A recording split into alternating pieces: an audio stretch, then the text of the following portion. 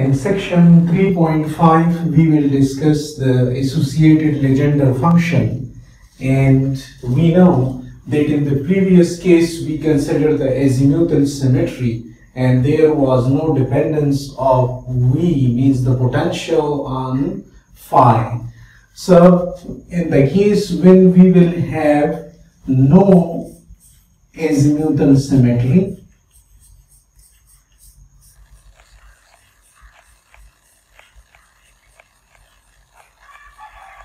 So in this situation, when there will be no azimuthal symmetry, then m will not be equal to 0 and our potential, which is phi, will be dependent on the coordinate phi. So in this situation, we will write our Legendre equation is d over dx and 1 minus x square dp over dx plus L into L plus 1 minus m square 1 minus x square. And this whole we will have to take p as common. So this is p and this p a function of x and this is equal to 0. This equation we call the associated Legendre function because Legendre function was when m was equal to 0. When m is non-zero then we are having the phi dependence of potential as well and now we will have to solve this differential equation. Now we know that the earlier when m was equal when m was equal to 0 then we wrote the solution in terms of the Legendre polynomials which was when m is equal to 0 then we wrote with the help of the Rodrigues formula the Legendre polynomial is 2 to the power l and L factorial dl over dxl means the Lth derivative and x square minus 1 to the power L.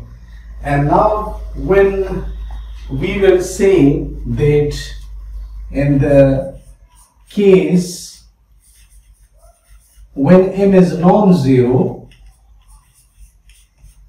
then the solution of this differential equation will also be in terms of the Rodrigues formula we will write is the P L P L M of x. This is P L of x, the Lth derivative, and M index will be then the mth derivative of all this. So PLM of x is equal to minus 1 to the power m 1 minus x square to the power m over 2 and dm over dxm and PL of x where PL of x is this one. So it will be the mth derivative of the Legendre polynomial. We can use this PLM of x instead of P here and we can prove that surely this satisfies the associated Legendre equation. So the this in order to put this here and verify that yes PLM of x is the solution of this differential equation I will include this thing is the assignment 1 so this is assignment 1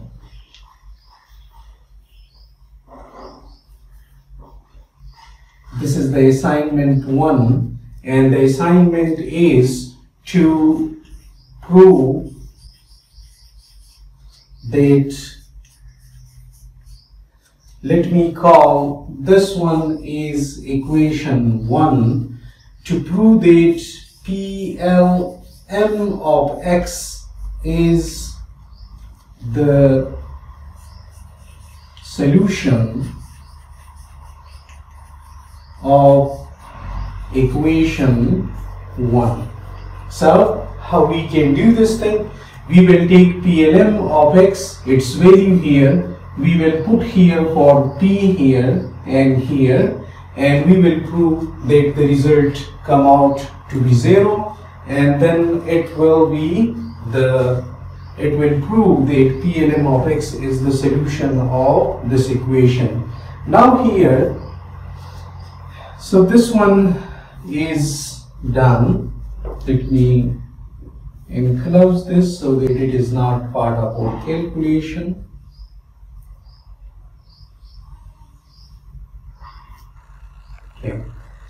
Now the m that we are using here is actually an integer. m is an integer which we have proved in the term when we were writing the qth part. This was, we have written UPQ. So Q part is neutral part. We have written over there that it is in integer and its values were plus minus 1, uh, 0. Its value was 0, plus minus 1, plus minus 2 and so on and such that this m values in relation to L they will be less than or equal less than or equal to m will be less than or equal to L and it will be greater or equal to 0. So in relation to L it will be like this However, we the Rodrigues formula can be used for a valid definition for negative values of m and p of x is equal to let me put the values. So we have minus 1 to the power m and 1 minus x square m over 2 dn over dxm 1 over 2 factorial 1 over 2 power L and then L factorial dl over dxl x square minus 1 to the power L. So I can combine these two and PLM of x will be equal minus 1 and this will be I can write from here that here minus 1 to the power m we will take first the nth derivative and then we will take the mth derivative. So the so this is this will be first for the negative values of m. So we will have minus 1 to the power l and 2l l factorial mean the constant will come out then 1 minus x square to the power m over 2 and d so now dm over dxm will apply on dl over dxl. Now we know that both m and l are integers. So we can write the, the two will multiply like we are having for example d and over dx for example we are having the second derivative and here we are having the triple derivative.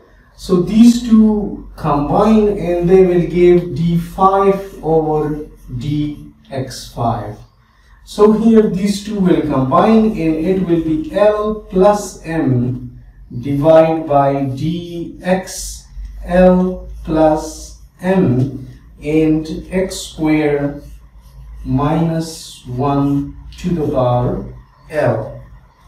Now this is the first we will take the lth derivative then we will take the mth derivative means the m times derivative of this. So minus 1 to the power m, it will change. And how it will change means when this will depend on the power of L because when we take its derivative and L is 1 then it will be 2x when L will be equal to 2, then it will be x4 power 2.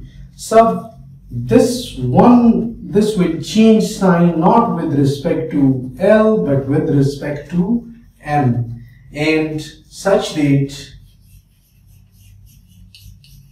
such that M is in between plus L and minus L. So the M values, the L values are, the M values will range plus minus, plus minus and they will be from the minus value of L to the plus value of L. And a short exercise, a short exercise can prove that short exercise can prove that the PLM if we take the positive value of m and the negative value of m PLM is will be means of x will be equal to PL minus m of x. These two values will be equivalent and what will be the constant then means some constant will be here. So what will be that constant? And a very short exercise can prove this thing and this will be our assignment 2 or assignment 2 is that prove that PLMX is related to PL minus M of X by the relation by the relation and the relation is that PL minus MX is equal to minus 1 to the power M L minus M whole factorial divide by L plus M whole factorial and P L of X and here we have M. So this will be the assignment 2 to prove that this thing is equal to this the relation between means the constant when we will relate PL m of x with the PL minus m of x, then this will come out to be the constant. So we can prove this in assignment 2.